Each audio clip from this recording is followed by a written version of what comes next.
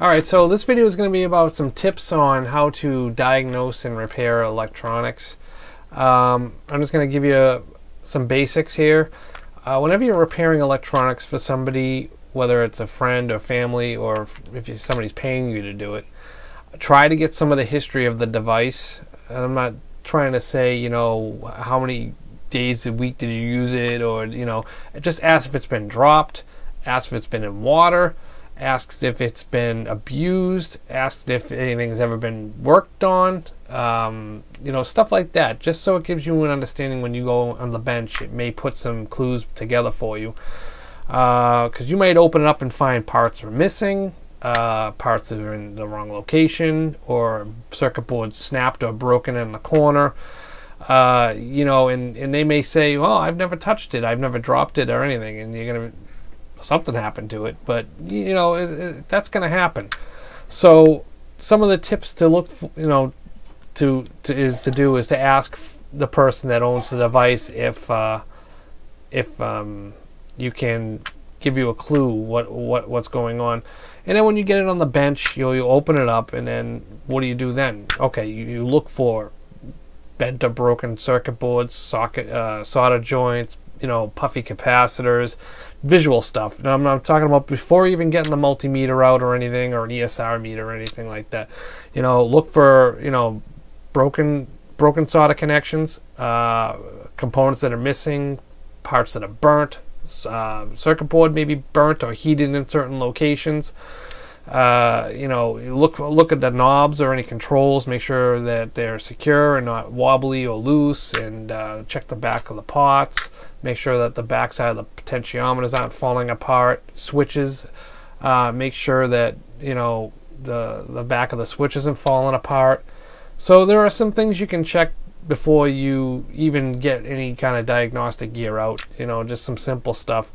Um, you know, you'll know if there's some water damage. You'll probably see some some evidence on the circuit board. You might see some, you know, dust that it's gotten wet and it's kind of smeared off to the side of the device or something. I mean, most likely it's not going to be something that got wet unless it's a phone, and, and not a lot of people work on phones because they're a pain in the ass, and uh, that's just a whole other story.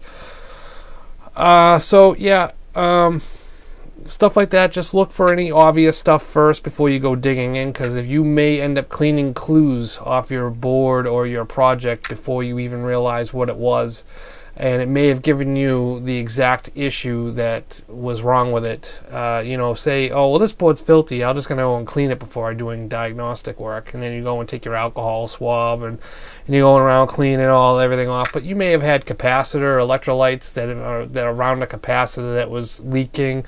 Uh, you may have had uh, uh, some flux that may have melted from you know a hot joint or something that something that overheated. Uh, it could be anything like that, you know. But most likely, try to look for discoloration on the circuit board. That's usually going to be where the heat was built up and any like around the power supply. Most problems are in the power supply uh, it's it's very it's it's more unlikely that it's going to be something down the road. It's always most likely going to be power supply. So the first thing I do is I, after I just said all that, first thing I would do is start heading for the power components, the large caps, the big transistors, anything that's going to generate heat, anything mounted to a heat sink. Start looking at all those solder connections, all the capacitors in that circuit, any kind of um, uh, uh, connections that are in that circuit you know solder connections. I may have already said that, maybe repeating myself, but uh, yeah, just um, at that point, if you you know you get to a point where you've actually identified the, the the problem visually, then you know what to do. You know to pull the you know pull that component out and test it and test everything in that circuit. But if you're at that point after you've looked it over intently and, and you don't see anything obviously wrong with it, it looks perfectly fine that's the point where you go and plug it in and make sure there's no shorts or anything before you plug it in. Um, you know, plug it in and start probing the power supply circuit and making sure if the device is not powering on, if that's the symptom, if the, the, device isn't powering on, you know, start probing around the power circuit. Sometimes it'll just be something from the switch. The switch might be worn out. You know, you might be able to, you know, see if the switch is functioning uh, through a continuity test, make sure that it's actually getting to the board where it actually turns the circuit on. Uh, this is stuff you can do because I mean you're obviously not going to have schematics for everything you fix, and it's going to be a lot of in, intuition on on on some of the stuff. It's it's really weird how you develop this intuition on on repairing this stuff, but it's weird. I mean, sometimes I can open something up and within five minutes or just even instantly know what the problem is just by peering into it. Um, and that's probably about 50% of the time, you know, and then you get those times where like you look everything over and everything looks fine, and then it may take you a little bit while longer to, to repair. Um, I mean, amplifiers alone, they're, a little bit more complicated. They have more complex circuits, but you know, usually it's like in like um, uh, receivers or anything that has like a dedicated power supply to the lines is usually uh, anything that's uh, you know hooked up to the AC outlet is usually always stuff that's going to develop issues over time because uh, they always stay plugged in. They're always live. There's always a circuit in there that's you know ready to go when you press the on button. Standby circuits. Uh, and then some people leave their devices on so caps dry out. You know, heat builds up. Uh, circuit uh, circuit uh, joints crack. So yeah, there's there's a ton of stuff to to watch out for.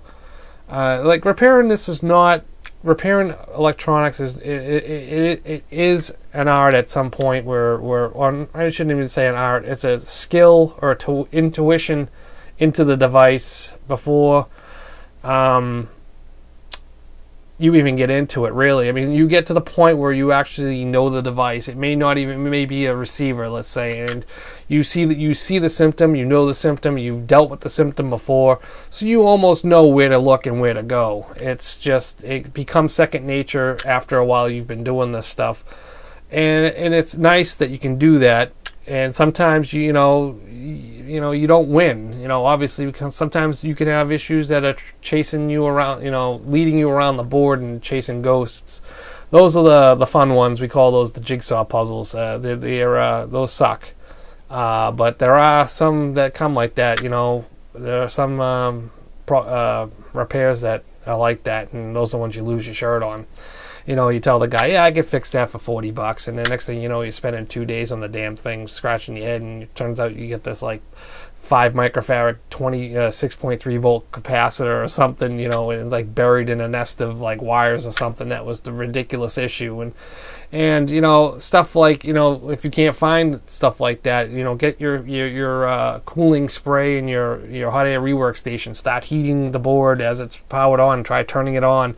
And if it comes back on then oh you know you have a bad cap somewhere or a bad connection that you know something has changed thermally.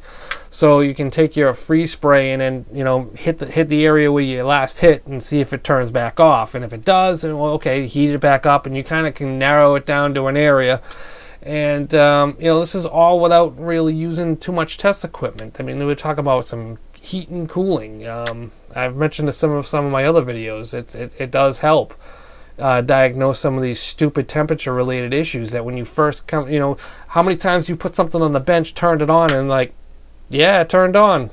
Okay, I had a complaint of no power, and now it's working. Nine times out of ten, it's a bad cap um, because I've had this happen so many times where it comes from one temperature environment and ends up on your bench as a different temperature environment, and that slight temperature difference was enough for the capacitor to stop, you know, kind of working again. So yeah, I'm just throwing this out there, um, you know, until I get some other stuff going here. I thought I'd throw a few of these tip videos out. Maybe they might help. Uh, so that's about it. That's about it. That's all I have for tonight. So have a good one. We'll see you in the next.